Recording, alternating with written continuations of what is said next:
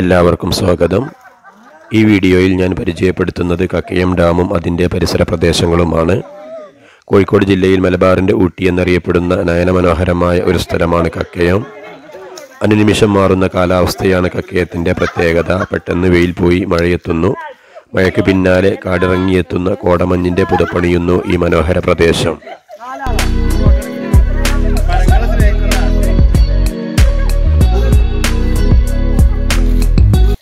കക്കയം അങ്ങാടിയിൽ നിന്നും പതിനാല് കിലോമീറ്റർ അകലെ മലമുകളിലായാണ് കക്കയം ഡാം സ്ഥിതി ചെയ്യുന്നത്. വളഞ്ഞു പുളഞ്ഞു കാട്ടുപാതയിലൂടെ മലയുടെ മുകളിലേക്ക് കയറും തോറും വെൺമേഘങ്ങൾ പാറി നടക്കുന്നത് പോലെ നമുക്ക് തോന്നും. അതോടൊപ്പം നല്ല തണുത്ത കാറ്റും നമ്മെ തഴുകിത്തലോടി കടന്നു പോകും. കാടിന്റെ വന്യതയും വശ്യതയും ഒരുമിച്ച് സംഗമിച്ച് ആനന്ദത്തിന്റെ കുളിരിൽ നമ്മെ ആറാടിപ്പിക്കും. കക്കയത്തേക്കുള്ള യാത്രയിൽ ഇടയ്ക്കിടെ കാണുന്ന വ്യൂ പോയിന്റുകളും ചെറുവെള്ളച്ചാട്ടങ്ങളും നമ്മുടെ യാത്രയെ സമ്പന്നമാക്കും. ഡാം സൈറ്റിലെത്തിയാൽ സഞ്ചാരികൾക്കായി സ്പീഡ് ബോട്ട് സർവീസ് നടത്തപ്പെടുന്നുണ്ട്. വംശനാശ ഭീഷണി നേരിടുന്ന ചിത്രശലഭങ്ങളുടെയും സസ്യജന്തുജാലങ്ങളുടെയും ഒരു കലവറയാണ് ഈ വനപ്രദേശം.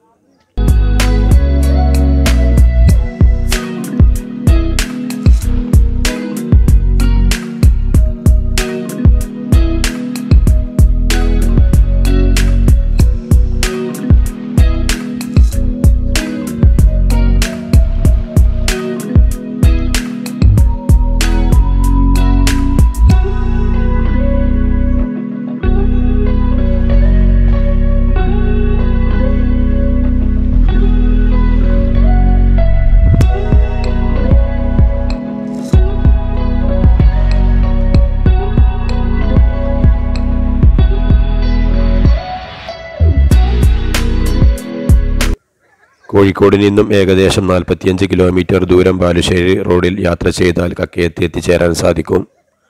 സഞ്ചാരികളുടെ മനം കുളിരണിയിക്കും വിധം നയനമനോഹരമായ ഒരു പ്രദേശമാണിത്.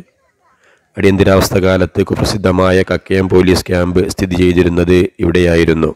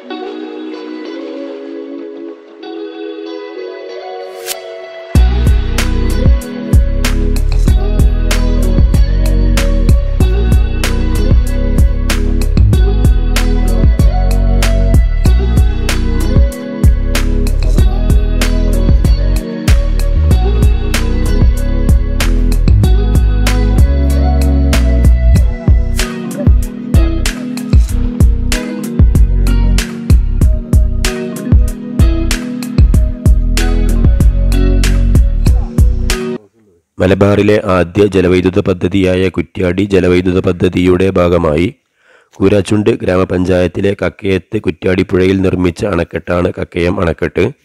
വയനാട്ടിലെ ബാണാസുരസാഗർ അണക്കെട്ട് കുറ്റ്യാടി ജലവൈദ്യുത പദ്ധതിയിലേക്ക് വെള്ളം എത്തിക്കുവാനായി നിർമ്മിച്ചതാണ്. കക്കയം അണക്കെട്ടിൽ നിന്നും കക്കയം പവർ ഹൗസിലേക്ക് പെൻസ്റ്റോക്ക് വഴി വെള്ളം എത്തിച്ച് വൈദ്യുതി ഉൽപ്പാദിപ്പിച്ചതിനു ശേഷമുള്ള വെള്ളം പെരുവണ്ണാമൊഴി അണക്കെട്ടിൽ സംഭരിച്ച് ജലസേചനത്തിന് ഉപയോഗിക്കുകയാണ് ചെയ്യുന്നത്. കക്കയം പെരുവണ്ണാമൊഴി അണക്കെട്ടുകളോട് അനുബന്ധിച്ചുള്ള ഈ വനമേഖല മലബാർ വന്യജീവി സംരക്ഷണ കേന്ദ്രം എന്നാണ് അറിയപ്പെടുന്നത്.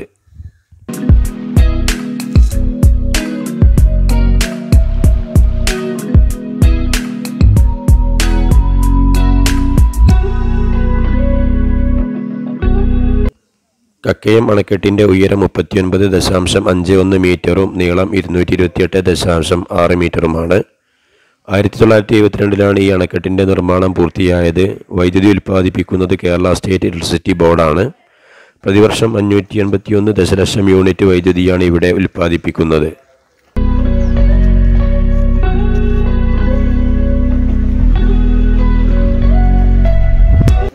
അണക്കെട്ടിന്റെ പരിസരത്ത് കുട്ടികൾക്ക് കളിക്കുന്നതിനുള്ള ഒരു ചെറിയ പാർക്ക് ഒരുക്കിയിട്ടുണ്ട്. ഡാം ഭാഗത്ത് കടകൾ കുറവായതിനാൽ കക്കയം അങ്ങാടിയിൽ നിന്ന് ഭക്ഷണവും വെള്ളവും കയ്യിൽ കരുതുന്നത് നല്ലതാണ്. മഴയും മഞ്ഞും വെള്ളച്ചാട്ടങ്ങളും വനവുമെല്ലാം ചേർന്നൊരു മനോഹരമായ കാഴ്ചയാണ് കക്കയം നമുക്ക് സമ്മാനിക്കുന്നത്.